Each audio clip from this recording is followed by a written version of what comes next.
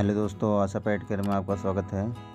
अगर आप मेरे चैनल पर नए जुड़े तो मेरे चैनल को सब्सक्राइब कर लीजिए। साथ में बेल आइकन का बटन ज़रूर दबाइएगा। चलिए वीडियो स्टार्ट करते हैं। चिकलेट वैरायटी के बारे में हम बात करेंगे आज छोटी सी। आज जैसे कि आप ये सामने देख रहे हैं कि कॉन्वेंट चॉकलेट है, हम आज इसी के बारे में बात करेंगे। अगर आप मेरे वीडियो पर नए हैं तो मेरे चैनल को सब्सक्राइब कर लीजिए। और वीडियो को आखिर तक ज़रूर देखिएगा। आप ये कॉन्वेंट चॉकलेट देख रहे हैं, फ़िलहाल तो ये पैरेट फ़िश है, ये भी कॉन्वेंट चॉकलेट में आती हैं। और शिवराम फ़िश भी चॉकलेट प्रजाति में आती हैं। ये एग्रेसिव होती हैं थोड़ी सी और सेमी एग्रेसिव भी होती हैं। आप इनको पै उसके साथ ना रखें गोल्ड फ़िश वगैरह के साथ ना रखें।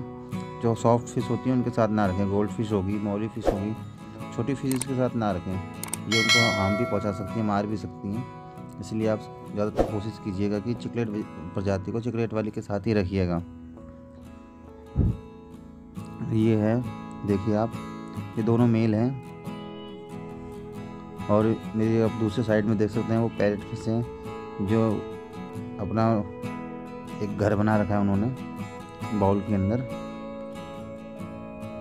और ये आप देख सकते हैं, चिकले, इनको मैं, इनको आप फ्लूटिंग पैलेट भी दे सकते हैं सिंकिंग पैलेट भी दे सकते हैं। इनको आप श्रिम भी दे सकते हैं, इनको बॉयल एग भी दे सकते हैं, ये सब एक्सेप्ट कर लेती हैं खाने के लिए। देखिए, कितनी अच्छी तरीके से इनकी ग्रोथ है।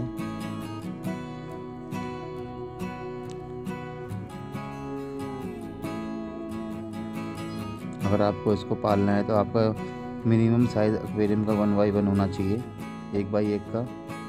उसके अंदर आप फोर फिशेस रख सकते हैं, चार फ़िश वीडियो कैसे लेकिन लाइक कमेंट और शेयर ज़रूर कीजिएगा।